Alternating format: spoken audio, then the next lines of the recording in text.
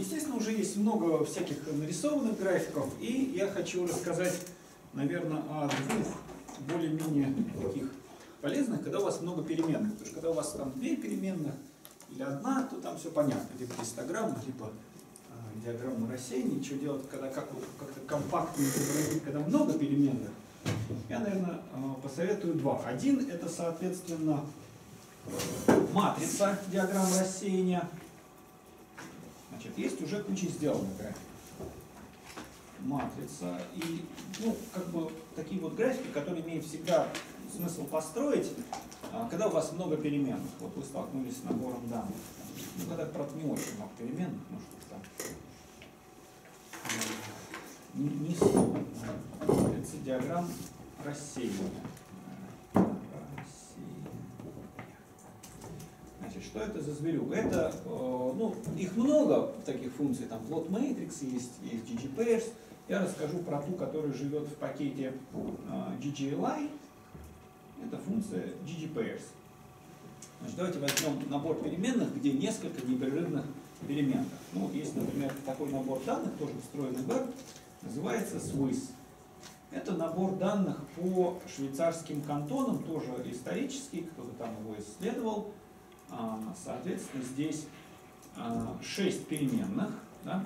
Ну, тут какой-то показатель фертильности женщин. А, по-моему, это количество детей до, там, по-моему, 16 что ли, лет, э, деленные на количество женщин в репродуктивном возрасте, помноженные на там, 100 или 1000. Вот. Ну, тут написано дальше агрегал доля мужчин, занятых в сельском хозяйстве, ну и так далее доля количества населения в кантоне, а, там детская смертность. Ну, а, да? Вот эти все базы, они где хранятся? Они просто прям в а, есть, э, она хранится в каждом конкретном пакете. Да?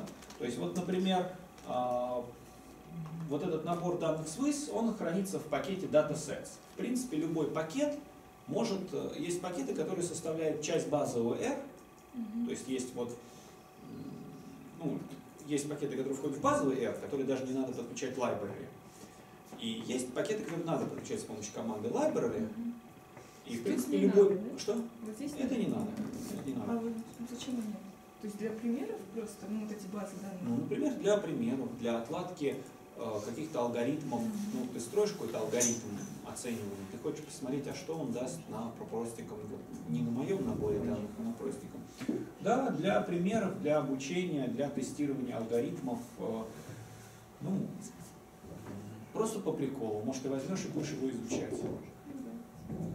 Почему бы и нет?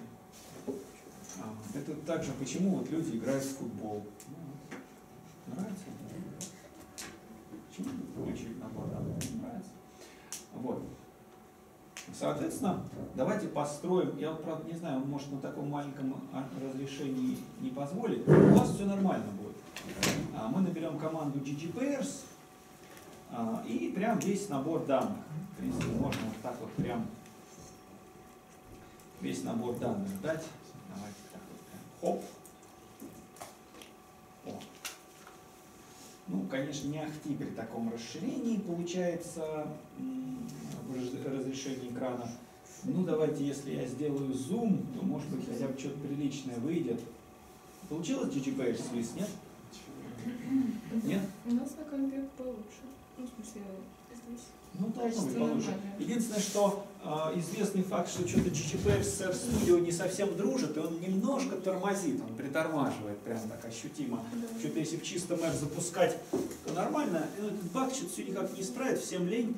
Э, вот, мне тоже, поэтому э, он немножко медленно работает, но если с чистого R запускать, то так все нормально. Вот, наверное, да, если зум сделать, то вроде получше становится. Вот, то есть это такой график, где э, компьютер каждую переменную с каждой Э, одновременно строит, соответственно, и диаграммы рассеяния, да, и э, сглаженную оценку функции плотности, и сразу все корреляции посчитал каждый с каждой. То есть, ну, один такой график, он несет в себе очень много информации обо всех переменных. И он, э, в принципе, сам адаптируется, если переменная будет не э, числовой, она будет факторной, то, соответственно, график изменится. Если она будет факторная, там, тут будет, скорее всего, ну, надо смотреть, там ну, очень, естественно, много настроек, можно настроить, в принципе, что будет на полоске. То есть у него есть автоматически, он пытается автоматом понять, что для данного типа данных лучше по диагонали построить, а, и, соответственно, в нижней и верхней части графика он построит разные вещи для большей информации. То есть можно попробовать. Сейчас мы сами возьмем какой-нибудь ну, такой же набор данных, только с факторами переменной, посмотреть, что он сам адаптируется. Но понятно, что все можно настраивать. То есть по этому графику, например, а, что вы можете сказать по этому графику, что видно на нем? Что видно на нем, например?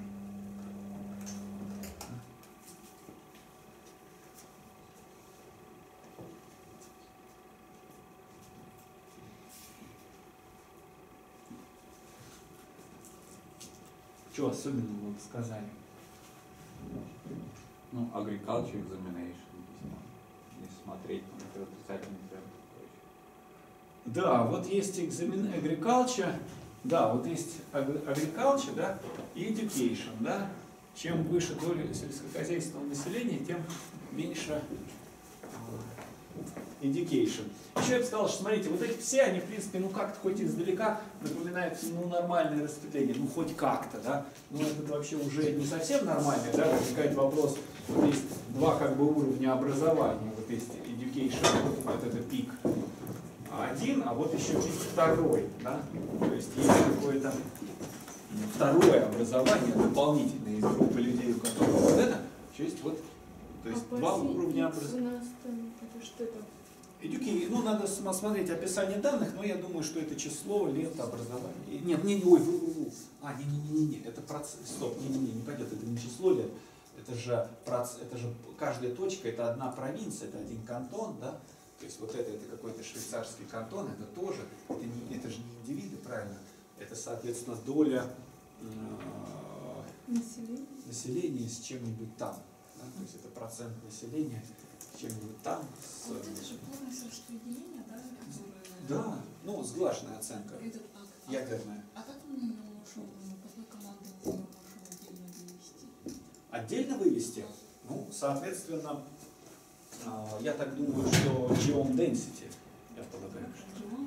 Geom density, я полагаю, что она геометрия, да? Ну, density. Вот. Ну, я бы сказал, вот это особенно, они все более-менее похожи на нормальные, вот это не похоже, говорит о том, что католики и протестанты не любят друг друга. Есть это тут э, кантон, где много католиков, а в это кантон, где мало католиков. А таких вот промежуточных, где они 50-50 делятся, а, таких вот мало. А остальные все, ну так, издалека. Вот это, правда, тоже. То есть бывают, наверное, кантоны, где преобладает городское население, ну, типа расположен кантон как-то швейцарский где-нибудь у них там в деревушке. Да? ну, Вот. Это раз такая вещь, которая позволяет изобразить много переменных. Возможно, еще другая ситуация, когда у вас много качественных переменных. То есть, в принципе, этот график, он... а, Давайте сейчас попробуем придумать какой-нибудь сейчас, какой бы мне взять набор данных, и у меня было бы много качественных переменных. О, давайте возьмем набор данных, где у нас побольше качественных переменных. Давайте возьмем, о, подключим еще один пакет, который содержит э, данные из Кэгла по пассажирам Титаника. Давайте установим пакет, он так и называется, Титаник. Да? И подключим пакет Титаник. Там ничего нет, только набор данных. То есть некоторые пакеты содержат в себе функции, а некоторые содержат в себе просто наборы данных. Ну, а некоторые то и то. Ну, он точно так же ставится, install packages, там бла-бла-бла-бла. Он быстро ставится, потому что там мало чего. А, Поставился, он ни от кого не зависит, ничего за собой не тянет, поэтому должен очень быстро поставиться. Есть Титаник? Марин, поставился? Да. Ну, он не должен был ставить. Он, он ничего не зависит, поэтому... Пакет, в котором только данные, он не тянет за собой другие пакеты при установке, поэтому должен очень быстро ставиться.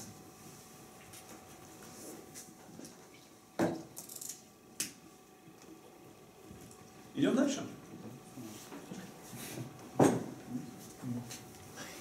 Хорошо. Значит, давайте из набора данных. э, Там, соответственно, конкурс на Кегле, там имея часть выборки пассажиров с Титаника, надо оценить модели, прогнозировать, выживет, не выживет для другой части выборки. Такой, ой, Вася, извини, я забыл, надо тебе не забыть про стандартную ошибку. Я сейчас вспомнил, вернусь. Сейчас достроим график. Ну.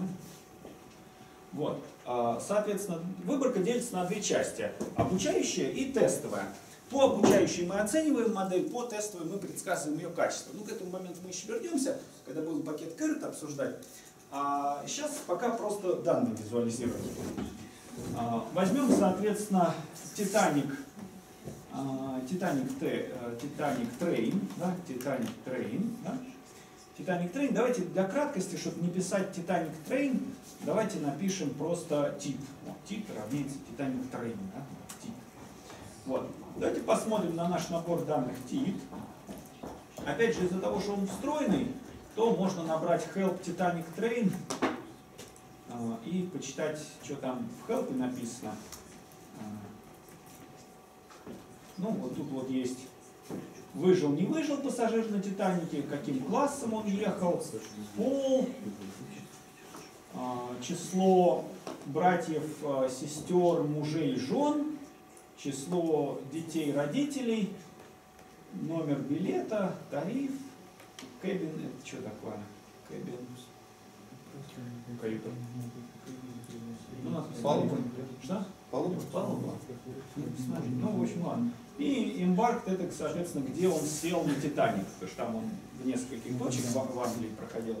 Поэтому, а, соответственно, несколько там. Вот, соответственно, у нас тут много качественных переменных, таких факторных. У нас факторный является, ну, понятно, выжил, не выжил, а, имя, А напомните, что такое факторный? в смысле факторные, которые принимают э, э, фиксированное количество значений, они могут быть неупорядочены. Бывают факторные упорядоченные, бывают факторные неупорядоченные. Ну, типа вот класс это факторные упорядоченные. Первый, второй, третий. А пол это факторные неупорядоченные. Мужчина, женщина. Можно понять. Можно упорядочить, да. А, вот, но каждый все по-разному упорядочивает. А. Так, хорошо. А давайте, кстати, посмотрим, как GG Pairs прореагирует на Титаник. Вот как он его автоматом классифицирует. Давайте попробуем GG Pairs Титаник. Ой, там много. Ну ладно, он будет много. Ну, да, Да, немножко, конечно, из PDR Studio он тормозит. Да, и что-то он как-то совсем задумался. Что, у вас нормально или это у вас тоже тормозит? Тоже так. Тоже же? Мне кажется, дальше не будет. Чем? Дальше ничего не будет. Не будет? Ну почему? Мне он так нажрался. Он нехорошо себя ведет. Ну ладно, давайте переживем. Хорошо, а если... Как прервать? А там красная кнопочка есть в углу. Ну вот да, это такой какой-то известный факт, что не дружит GDPR с RStudio. В общем, ладно, хорошо. Жалко, конечно. Ну ладно, идея этого графика, она есть и в другом пакете, но другой я сходу не помню, как называется. Я помню, что он называется плод Matrix, по-моему. Плод Matrix. А. Нет, ну да, как он называется. А почему мы пользуемся распутыванием? А, Ну, потому что там много всяких приятных э, фишечек, э, э, которые для новичков очень э, помогают. А R нормально дружит, да? с чем? С. Да, да, да, да. То есть они там накрутили всего.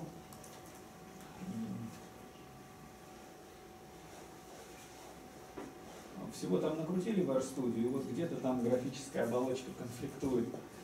А, ладно, сейчас не найду. Хорошо, давайте тогда пока построим тот график, который я хотел.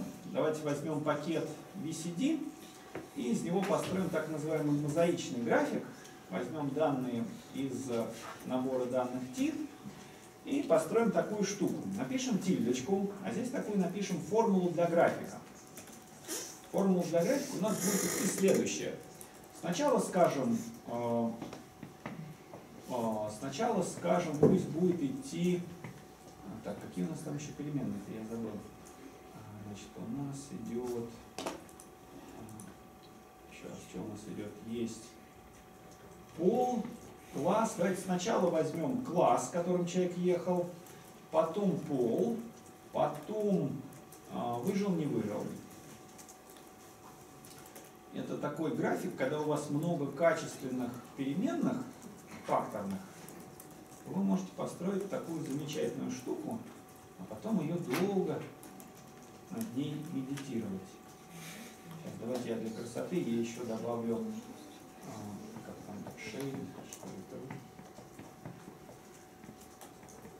Да, вот. Давайте зададим такую штуку. Сейчас мы над ней помедитируем. И узнаем всю правду о Титанике на одном графике. Значит, данные, значит, э, еще раз, помимо вот этой философии ЖЖ-плот 2, которая позволяет строить довольно фантастические вещи, но, возможно, долго, а, есть еще куча написанных другими графиками, ну, вот как DigiPairs, да? А вот это мозаичный график. Данные мы берем из набора данных по Титанику, а потом мы пишем тильдочка и перечисляем факторные переменные. А класс пассажира, пол, выжил, не выжил, ну и это закрасочка мы сейчас обсудим, что она закрасила. Получился график? Я сейчас зум и мы обсудим. Получается, График есть? мозаика это вот чтобы в таком виде показала? Да, это конкретный тип графика, мозаичный график называется. Ага, А, а тильдочка еще раз. э, ну, Тильдочка, она, Класс. тильдочка это формула. То есть э, тильдочка это когда говорят там а, такой синтаксис для модели популярен, иногда для графика используется. График получился, можно его зум и об- и пообсуждать. да? Мозаика, откуда беру данные, дальше тильдочка p класс плюс x плюс survive, все с большой буквы, потому что так переменные в наборе данных называются. R чувствительный к, к регистру, и поэтому как они были названы там, так они должны быть названы здесь. Все, делаем зум. Да?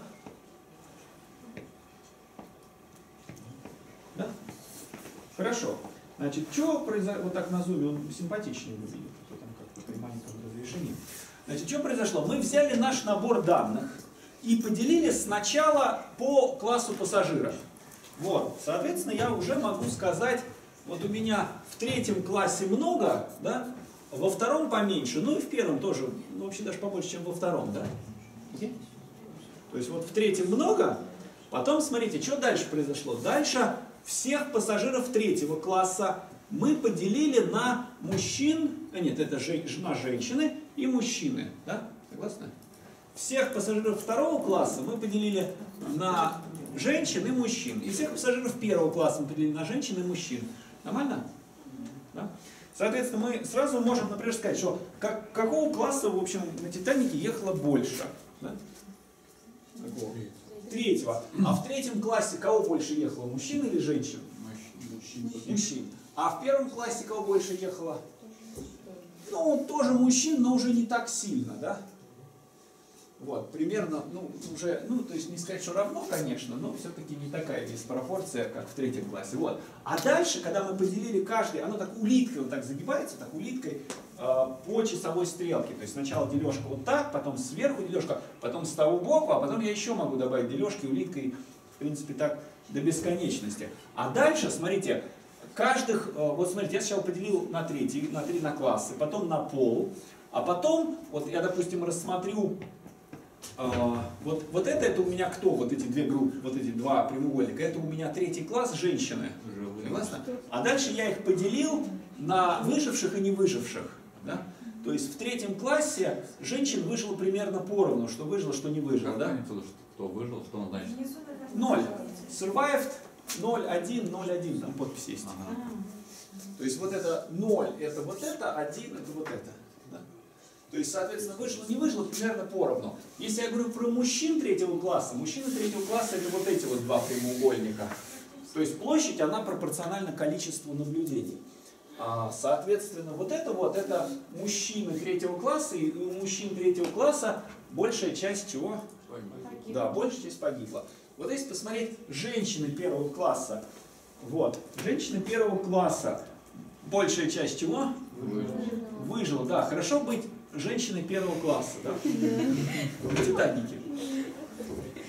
Вот, соответственно, э, а вот у мужчин э, э, первого класса большая часть не выжила. да? Да лучше быть мужчиной. Спасать женщин, вот и все не выжили. Да, вот. И еще можно говорить про расцветку. Помимо, соответственно, размеров прямоугольничков, которые нам говорят про качественные переменные, у нас еще есть расцветка. Расцветка, она автоматом проверяет гипотезу о независимости признаков. Если у нас гипотеза о независимости признаков э, по какому-то там... эм, ну, то есть, если мы представим, что все не зависит, то есть, вот, грубо говоря, R автоматом посчитает, сколько всего доля выжила, сколько всего доля не выжила, сколько всего доли была мужчин, сколько всего доли была женщин. Соответственно, если бы эти были признаки независимы, тогда вероятность быть женщиной первого класса выжившей, она равнялась бы произведению вероятности быть женщиной на выжить на быть в первом классе. Согласны? Если бы признаки были То независимы. есть он мультиколлинеарность проверяет. Нет, он проверяет зависимость признаков. Это, ну, можно сказать, что мультиколлинеарность, в принципе, по-хорошему, если мультиколлинеарный, то зависимый, если независимый, то не мультиколлинеарный, ну, как-то проще, ну, смысле, все-таки сложно, если там это именно про линейную зависимость. Вот. А, Он проверяет э, зависимость, то есть если бы клеточки все были независимы друг от друга, то они были бы все серенькие. А вот синенькая говорит, что слишком много по сравнению с независимостью, а красненькая говорит слишком мало по сравнению с независимостью. Окей? То, то есть, э, Ну, то есть представим что себе... слишком много по сравнению с независимым? Давай я тогда, мне доска тогда нужна. Сейчас я... То есть почти независимо? Нет? Ну, смотри, представь себе, что ну, у тебя есть некие частоты мужчин. Вот у тебя, смотри, у тебя есть P с крышечкой female, то есть это доля женщин в выборке. да? У тебя есть доля э, пассажиров, которые ехали первым классом в выборке. И у тебя есть доля пассажиров, которые выжили в выборке. Согласны? Вот если предположить гипотезу H0, что признаки независимы, признаки независимы, Если бы гипотеза, вот если вот выполняется эта гипотеза, что признаки независимы, тогда у тебя вероятность быть женщиной первого класса выжившей, она должна примерно равняться, вот если верна H0, вот эта э, вероятность долж- попасть в женщину первого класса, она должна примерно равняться произведению доли э, женщин на доли пассажиров первого класса на доли выживших. Правильно? Ну да. И, соответственно, а, вот она э, считает, ну, она соответствующим образом нормирует статистику, то есть, грубо говоря, она считает P с крышкой F1S минус произведение вот этих вот штук. Ну, отнормированное таким образом, тут можно поделить на стандартную ошибку некоторую, чтобы получить при верной H0 нормальную 0,1 случайную величину. Да? И, э, ну, А, можно тут вывести некую для если бы были независимые, был бы ноль в итоге. Был бы, ну, не ноль, а что-то от минус двух там, до двух, да, Ну, уже, даже если они идеально независимы, ну, как бы оно же не обязано попасть, ну, как бы предположим, что у тебя а, Вася и Петя там называют, там, выбирают, куда пойти, независимо друг от друга. Ну, так вот вышло, что они два дня подряд оба пошли в, в- один и тот же парк. Мгм. Вот, ну и встретились два раза, хотя независимо принимали решение. То есть, ну как бы, да, там должно быть число близкое к нулю, примерно аж ноль, но не обязательно ноль. И А поэтому тут вот, что является стандартной ошибкой? ну, стандартная ошибка, э, ну, можно рассчитать стандартную ошибку, то есть посчитать а, оценку дисперсии, а, оценку корня дисперсии вот этой величины. Ну, Я эти числа же фиксированы. Что? Эти же вероятности не фиксированные. P с крышкой фиксировано. Но Ну, это одно число. это одно число, но стандартную ошибку можно оценить? По одному числу. Нет, идейно, конечно, можно. Ну смотри, вот представь себе, что у тебя случайная величина это P с крышкой. Да? Ну, допустим, P с крышкой женщин. Как оценить стандартную ошибку P с крышкой женщин? Ну, давай я расскажу логику подхода. Как распределена P с крышкой? Это что такое? Это 1 на n помножить на количество женщин, правильно? Согласен? Ну, давай, Мгм. n females. Пойдет? Ну, по здравому смыслу, если что-то разумное предполагать, то n females можно считать, допустим, каждый пассажир, допустим, она имеет биномиальное распределение, а, с общее количество пассажир, пассажир, пассажиров и истинная вероятность быть женщиной. Идет? Ну, у меня, если мы предположим такую простую гипотезу о строении данных, простую модель. Каждый пассажир, он с какой-то вероятностью женщина, ну, или мужчина. да?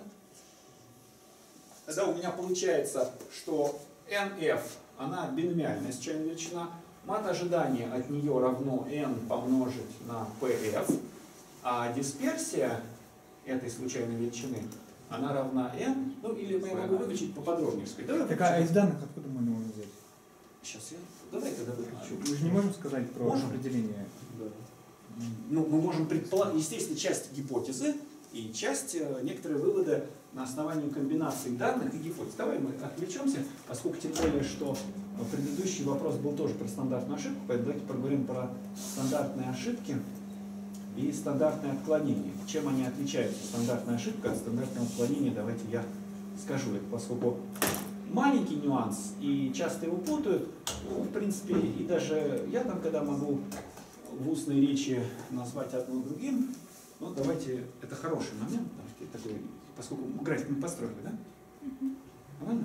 То есть она по- показывает, насколько, вот закраска показывает, насколько П с крышкой, вот доля в эту подгруппу женщины первого класса выжившей отличается от той, которая была бы, если бы, групп, если бы признаки были независимы. Вот. А сейчас тогда про стандартную ошибку. Ну, сюжет про стандартную ошибку. У нас два вопроса про стандартную ошибку, потому что это многие э, путают, а сюжет такой, ну, он не такой уж сложный для восприятия. А, наверное, мне имеет смысл здесь скринкаст прервать. Сейчас я соображу, как это сделать. М. Что-то это- Вот, все, я прервал скринкаст. Окей. Так, наверное, можно еще включить свет.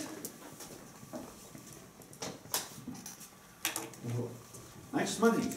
У нас есть какие-то случайные, вот есть случайная величина. Случайная величина, пусть будет z. Есть настоящее мат ожидания у этой случайной величины e от z. И есть настоящая дисперсия z. Вот это истинное математическое ожидание. И есть истинная дисперсия. Есть истинное стандартное отклонение. Сигма z. Истинное стандартное отклонение. А, В реальности чаще, ну, то есть, когда мы изучаем там теорию вероятности, мы часто там говорим, а вот считаем, что z там имеет там биномиальное распределение, вот у нас 100 испытаний, вероятность успеха в одном испытании равна там одной десятой, вот тогда мы можем сделать вывод, что математическое ожидание от z, сколько, если у вас 100 испытаний, вероятность успеха 1 десятая, то сколько у вас в среднем будет успехов? 10, да. То есть есть некие теоретические формулы, которые говорят, что здесь должно быть n на p. То есть должно быть 100 помножить на 1 десятую 10. Есть теоретические формулы для дисперсии. Дисперсии для биномиального распределения. Ну, если кто не помнит, я как бы скажу, что это n на p на 1 минус p. И это 100 на 1 десятую на 9 десятых, соответственно, 9 в этой задаче. Вот. То есть есть истинные характеристики. Но для того, чтобы знать истинную характеристику, надо знать, как она распределена. В реальности мы, конечно, не знаем, как случайная величина распределена, но что у нас может быть? А, Мы можем, э, то есть, одно дело, когда мы знаем законы распределения, то есть мы говорим, что она биномиальна, 100 опытов, p равно 1 десятой. Но в реальности мы многие вещи не знаем. То есть в реальности у нас может как быть? Вот мы теперь переходим к тому, к той ситуации в статистике, которая возникает, что мы параметры распределения не знаем. да?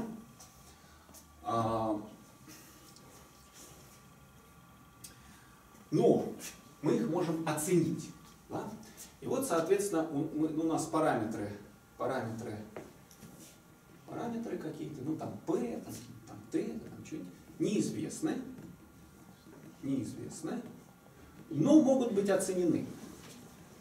Но могут быть оценены.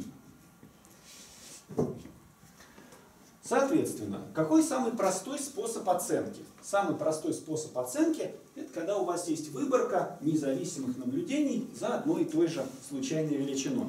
То есть у вас есть z1, z2, z3, z4 и так далее, zn, у вас очень много наблюдений, и вы, соответственно, можете сказать, что вот я могу, у вас появляется такое понятие, как выборочное а, sample, выборочное среднее, sample mean, да?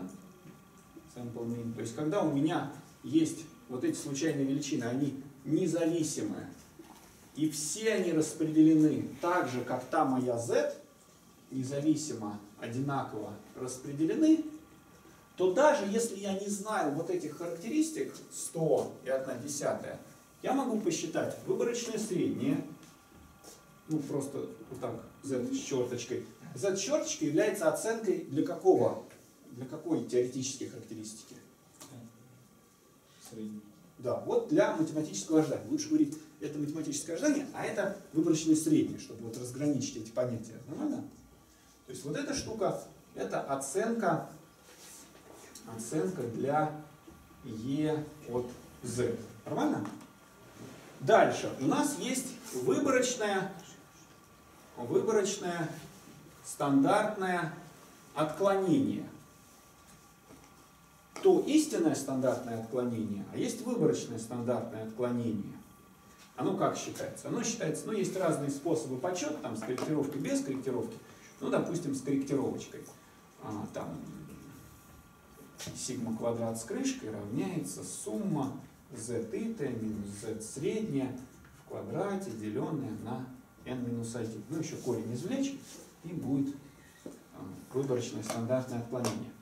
Эта штука сигма квадрат с крышкой, она является оценкой для истинной дисперсии. Она, конечно, ей не обязательно равна, но примерно ей будет равна при большом количестве наблюдений. Окей? Возникает вопрос, ну хорошо, а вот если у меня есть одно-то наблюдение, что же мне с одним наблюдением делать?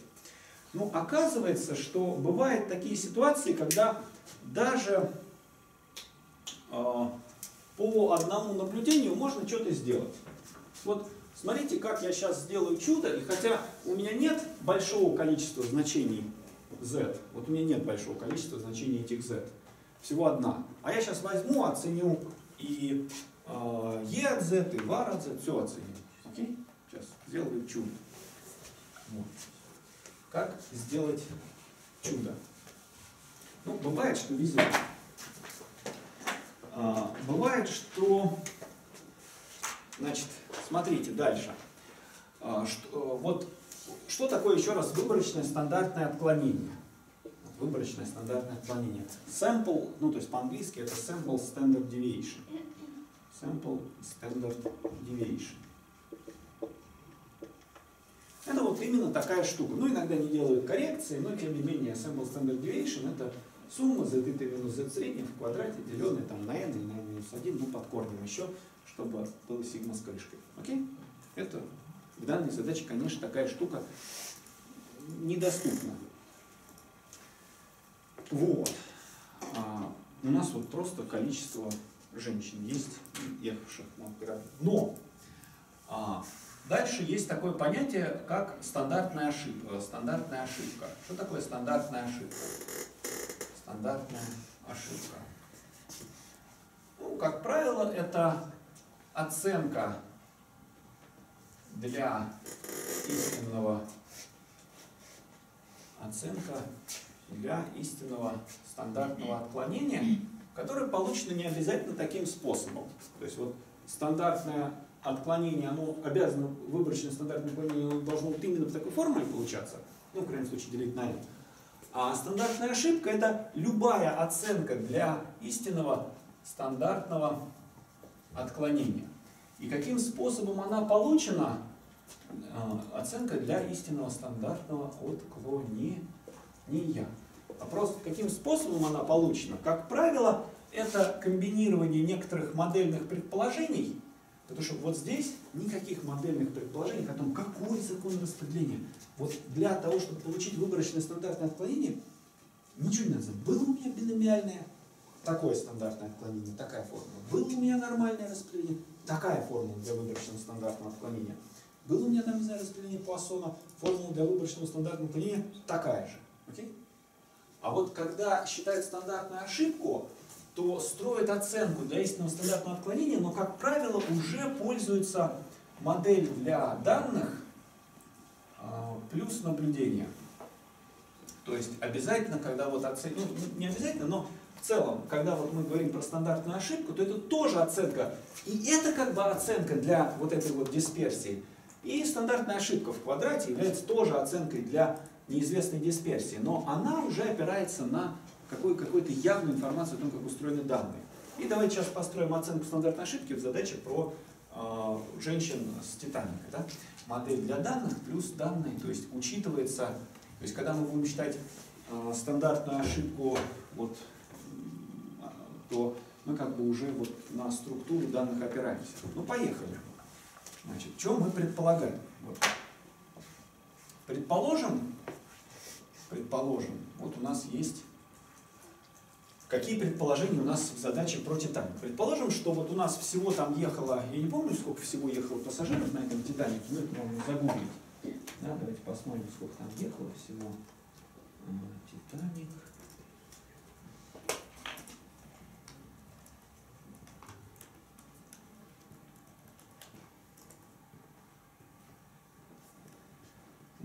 сколько тут пассажиров?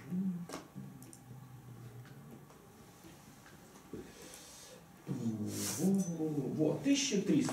Вот, значит, 1300 пассажиров. И мы предположим такую простенькую модель, что пол каждого пассажира определялся вот э, с, некоторой вероятностью независимо от других. Это, конечно, не совсем верно, потому что кто-то там парами путешествовал.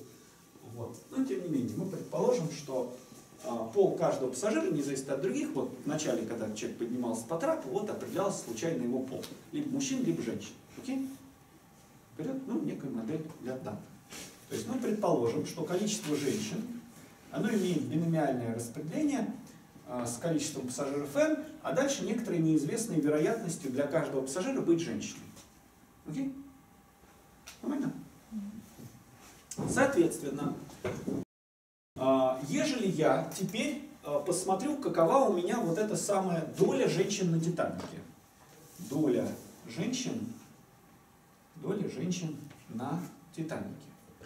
Она чему равняется? P с крышечкой F. Ну, какую разумную формулу взять? P с крышечкой F это количество женщин на Титанике делить на общее количество пассажиров. Правильно?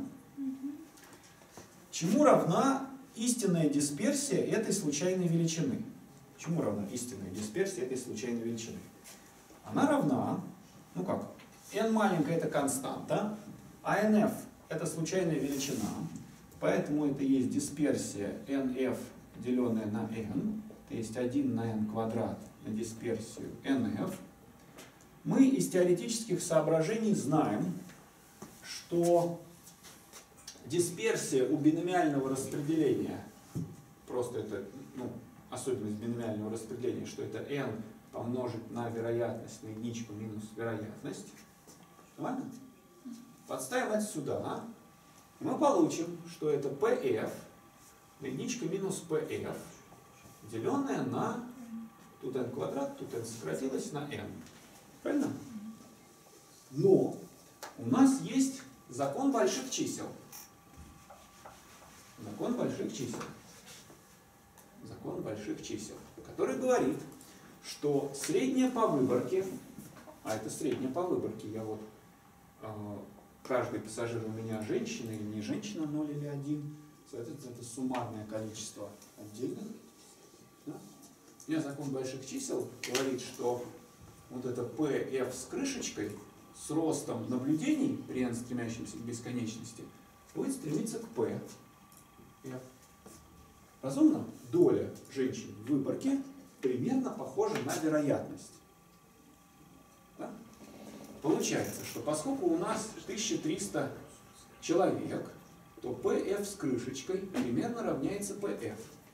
Верно? Но тогда выходит, что дисперсия PF с крышечкой, она примерно равна PF с крышечкой на 1 минус PF с крышечкой деленное на n получается, если, конечно, настоящая дисперсия, вот это неизвестно. Ну откуда я ее возьму? У меня всего одно наблюдение за PF с крышечкой. Действительно, PF с крышечкой я вижу всего одно. Сколько было женщин. Но оценить дисперсию я могу, потому что у меня есть модель. Вот просто посчитать действительно выборочное стандартное отклонение невозможно, потому что у меня PF с крышечкой всего одна. У меня Титаник был один, и PF с крышечкой, доля женщин, которая там была, она тоже одна. Поэтому крышечка тоже случайно? PF с крышечкой тоже чем? Величина, но я решаю равно? реализацию. Что? Почему там примерно было? Почему тут примерно равно? Потому что истинная дисперсия, var это истинная дисперсия. Истинная дисперсия есть неизвестная мне константа. А поскольку доля женщин в выборке равна примерно вероятности того, что каждый отдельный человек является женщиной, то получается, что вот это var, которое равно вот этому дроби, оно примерно равно вот этому. И получается, что хотя у меня наблюдение за PF с крышечкой только одно, в силу неких дополнительных предположений модели, я могу оценить дисперсию. То есть у меня получается, что стандартная ошибка PF с крышечкой, как ее можно оценить? Можно оценить корнем из PF с крышечкой на 1 минус PF с крышечкой, деленное на n. То есть, несмотря на то, что выборочно стандартное отклонение для PF с крышечкой я посчитать не могу, PF с крышечкой у меня всего одно. Там сколько было женщин, не знаю, 0,6 больше, меньше, мужчин было больше, значит 0,3, допустим. Не могу посчитать выборочное стандартное отклонение, потому что наблюдение за PF с крышечкой одно. А вот оценить стандартное отклонение могу, потому что есть некие дополнительные предположения о этой случайной величине, и даже одного наблюдения в силу закона больших чисел иногда достаточно, ну, в частности, с долями так происходит, что одного наблюдения достаточно, чтобы оценить стандартное отклонение доли женщин. Вот через него самого и оценивается. А в случае, который там на доске был, там более сложная задача, там из P с крышечкой вычитается произведение P с крышечкой, но оказывается там тоже можно посчитать более хитрая формула стандартного отклонения, но она тоже выводится. Понятная идея? Да, а что насчет предположения о том, что распределение бинарно? Ну, как понятно, что идеально это предположение не выполнено. Понятно, что наблюдения не были независимы, и если там Джон Смит поехал со своей женой, то он был мальчик, а она была девочка. Поэтому независимости наблюдений нет. Но, учитывая то, что там пассажиров было 1300, а вот эта зависимость дальше пар как бы не распространяется, то поэтому это вполне хорошее предположение. Нет, почему именно биномиальное? Почему именно биномиальное? Ну,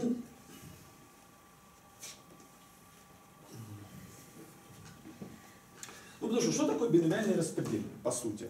Это когда это ситуация, когда вот каждое наблюдение, оно с заданной вероятностью попадает вот в одну из групп. То есть у нас э, каждое наблюдение, независимо от других, является женщиной. да? Ну, оно, конечно, не совсем так в реальности, но более-менее правдоподобно, что вот э, грубо говоря, можно себе представить такую ситуацию, что если не считать пары да, людей, которые ехали, а если вот считать индивидов, ну, там, грубо говоря, кто успел купить билет, тот и поехал, да, ну вот э, у, мужчин и женщин были там, так покупает, кто-то ну. А, например, что насчет распределения по классам, По классам, пассажиров по классам? Ну, э, ты хочешь сказать, что э, тут какое-нибудь там мультиномиальное распределение будет плохо подходить, потому что у нас априори задано число классов, да? что у нас столько-то кают такого типа, столько-то кают такого типа. А, Ну, по крайней мере, мы можем предположить, что мужчины и женщины, то есть я согласен, что число кают-то может быть и задано, что у нас вот столько первого класса, столько второго, столько третьего, и против этого никуда не попрешь, как, ну, так, так вот построили Титаник. Но, по крайней мере, при заданном количестве кают можно считать, что мужчины выбирают с одной вероятностью каюты, а женщины с какими-то другими. И нормально вроде. Ну хорошо, а в итоге как нам понимать то, собственно, число, которое мы получаем, которое Какое? надает цвет? Цвет? Да. Ну, это просто некая нормировка, а, насколько, то есть оказывается, как понимать, ну смотри, у, него- у самого этого числа смысла нет, оно просто имеет некое нормальное распределение. То есть это называется остаток Пирсона, А, но по сути это вот насколько доля вот это отличается от произведения долей. А, Ну, с неким подправочным множителем. То есть как понимать, насколько доля попавших в эту группу, о, женщины первого класса выжившие, отличается от той доли, которая была бы, если бы признаки были независимы. Ну, оно вот на что-то поделено так, чтобы в результате получилось нормальное 0,1 распределение. Поэтому значение от минус 2 до 2 говорит о том, что гипотеза о независимости признаков не отвергается, а значение, выпадающее за диапазон плюс-минус 2, свидетельствует о том, что гипотеза о независимости признаков отвергается. Спасибо. Вот. И второй вопрос, который тоже, ну, как бы смежный, как вот про стандартную ошибку в регрессии, да? А, как там стандартная ошибка считается? Вот там происходит примерно та же самая ситуация. Вот есть у меня данные, вот была скорость, speed, там speed 1, 2, 3, 4, 5 скорость, и длина тормозного пути. Один два- для первого, там 50 наблюдений. И у меня оценивается два коэффициента. У меня оценивается бета-1 с крышкой и бета-2 с крышкой.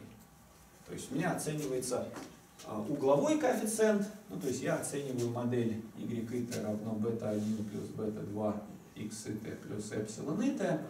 И методом наименьших квадратов оценивается два коэффициента. Естественно, я вижу всего одно значение бета-1 с крышкой. Бета-1 с крышкой равно, там, по-моему, минус 17, что ли, было? Или 17? Минус Минус 17. А бета-2 с крышкой 0,3, да? Помню. По-моему, 3, сейчас 3, 3, 3, ну пусть будет 3, да? Смотри, а, я опять вижу всего одно значение бета-1 с крышкой. Когда у меня одно значение случайной величины, я могу посчитать выборочное стандартное отклонение? Не могу. Да, ну как, одно число. Вот если у меня был столбик чисел, вот у меня столбик, вот этот вот спид, да, я могу посчитать выборочное стандартное отклонение скорости по формуле там сумма а, спид и минус спид среднее в квадрате, там деленное на n минус 1. Вот он, сигма квадрат с крышкой. Это выборочное стандартное отклонение скорости. Выборочное стандартное отклонение скорости могу посчитать, потому что у меня 50 наблюдений за скоростью. А коэффициент b с крышкой у меня только один. Выборочное стандартное отклонение посчитать нельзя. Однако, при выполнении э, там, предпосылок каких, кое-каких там на эпсилон, что оно там одинаково распределены, там, от ожидания 0, дисперсия там сигма квадрат, они независимы. При выполнении ряда предпосылок вот можно получить некую формулу для дисперсии бета-2 с крышкой. Вот оказывается, что несмотря на то, что наблюдение-то за бета-2 с крышкой всего одно, оказывается, что из-за того, что я предположил такую структуру зависимости между y, то, тем не менее, стандартную ошибку для бета-2 с крышкой можно посчитать. Ну, я помню формулу в векторном варианте, что а, оценка дисперсии целого вектора b с крышкой, это есть x штрих x минус 1 на RSS, деленное на n минус k.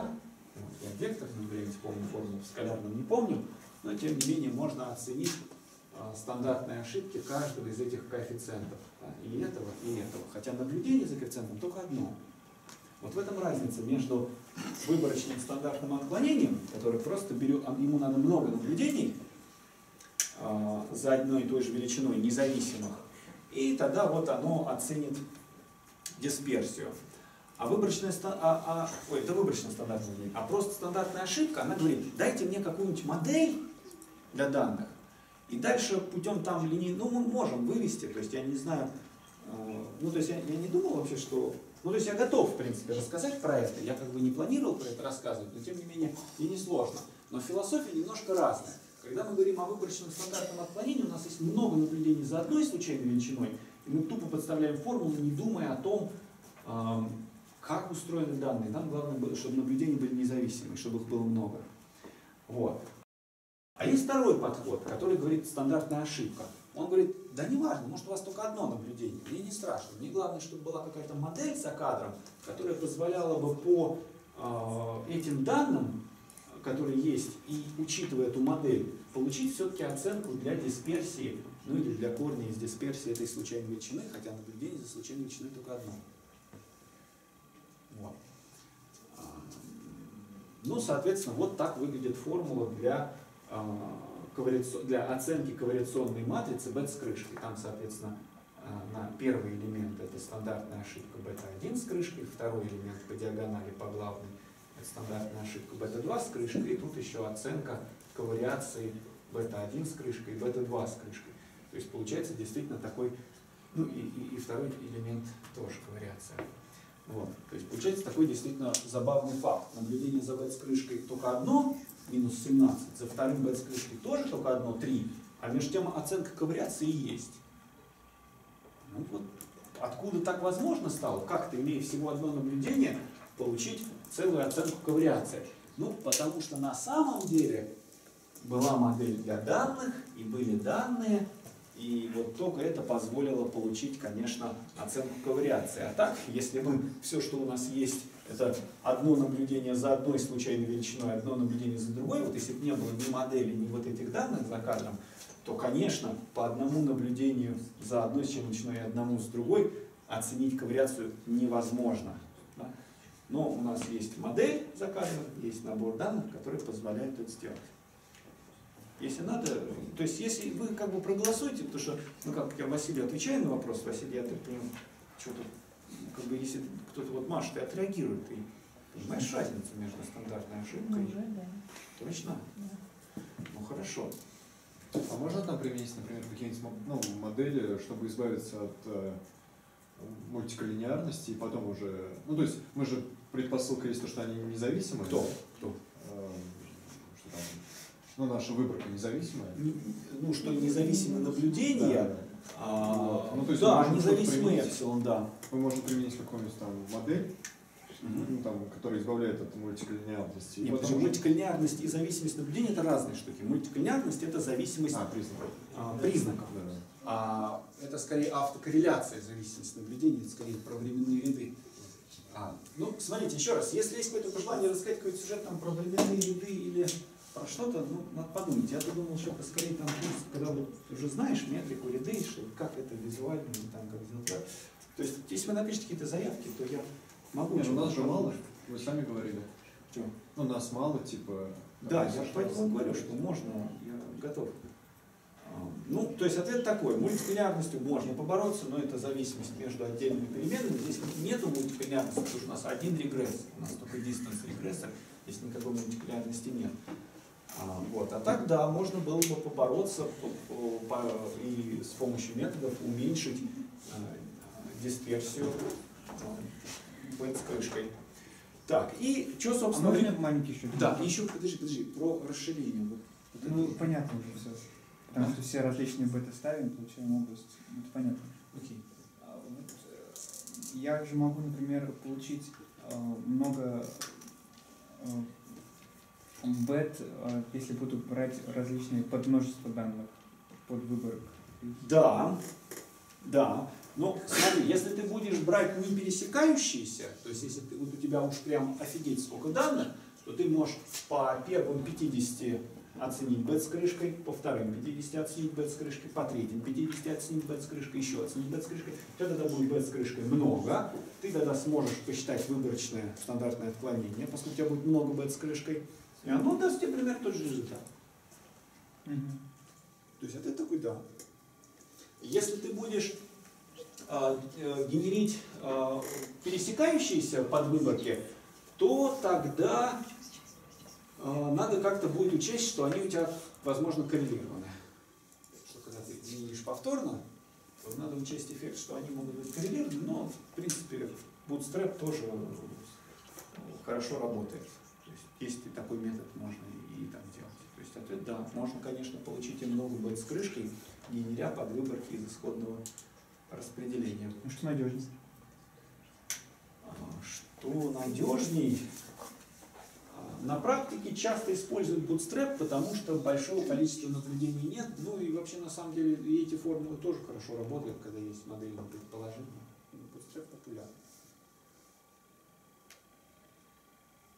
Ну, Bootstrap, если считать э, среднюю квадратичную ошибку. Ну, Bootstrap, он чуть-чуть аккуратнее, но идея примерно такая. Да, мы генерим много подвыборок из исходных данных, и по ним будем считать закон распределения бет с крышкой напрямую. Даже не будем оценивать. Там у него идея более осторожная. У него идея, да не будем даже эту штуку считать, просто нагенерим много бет с крышкой и построим их закон распределения. Здесь отложим прям бет с крышкой, и тут будет гистограмма, и мы там сможем, что хотим, то и делать дальше уже прям. Не нужна нам стандартная ошибка, зачем нам?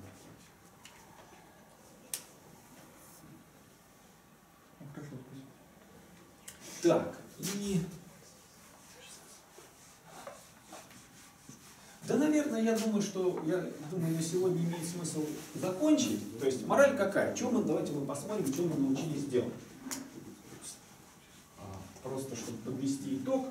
Я надеюсь, что чуть-чуть яснее стала разница между выборочным стандартным отклонением и стандартной ошибкой, что стандартная ошибка у вас может посчитаться, а, если у вас есть некое предположение о структуре данных, даже когда у вас всего одно наблюдение за случайной величиной. Есть есть одно наблюдение за бета-1 с крышкой, а стандартная ошибка тем не менее есть. А говорить в этом случае о том, что ой, а у нас тут куча 56 бет с крышкой, и мы сейчас вот посчитаем выборочное стандартное отклонение, не приходится, потому что всего одно бет с крышкой первое. Это первое, чем мы. Второе, значит, мы посмотрели философию э, ggplot 2. А, Я надеюсь, вы поняли, что вот оно по слоям. И посмотрели два графика, которые могут пригодиться для случая, когда у вас много переменных. А, Один для количественных переменных, большого количества, это ggpairs. Но есть там у него еще и аналоги в других пакетах, то есть это именно идея, а так он есть в других пакетах. И для большого количества качественных переменных у вас есть мозаичный график. Вот. Если у вас вот этот GDPR плохо работает, то тогда можно, сейчас я скажу, как называется его конкурент в пакете, пакете Lattice, по-моему, есть его конкурент. Зато такой проблемы нет. Но я просто люблю пакет ggplot 2. А, а, Веб, конечно, есть много способов сделать одно и то же. Lattice, Plot Matrix. Сейчас скажу, как он там называется.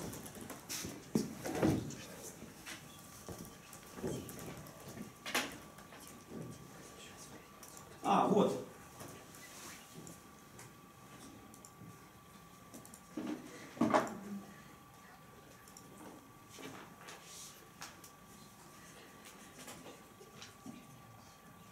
Сплом называется функция. Да. В каком пакете? А, Сплом а, в пакете Lattice.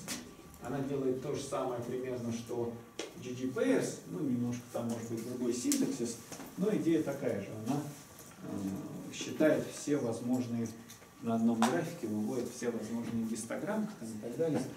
Вот. ggpairs, конечно, так он более больше возможностей позволяет там настраивать вверх графика, низ графика. А может быть и сплом позволяет, я просто сплом плохо знаю. Ну, вот такой, наверное, месседж на сегодня. Я думаю, что это вполне достаточно.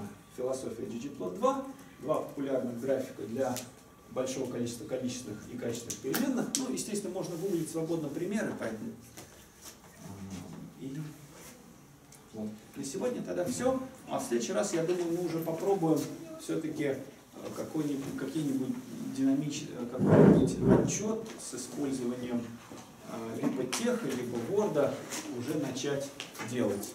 Добро? Маша, ты готова, Маша? Все. Тогда Спасибо. спасибо.